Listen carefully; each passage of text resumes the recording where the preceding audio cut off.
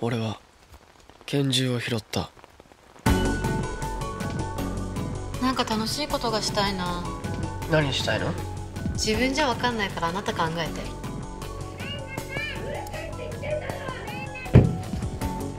麻薬とかこの辺で見つかったんですか？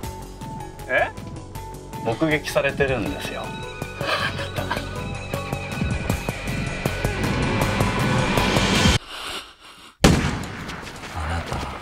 次は人間を撃ちたいと思ってるでしょ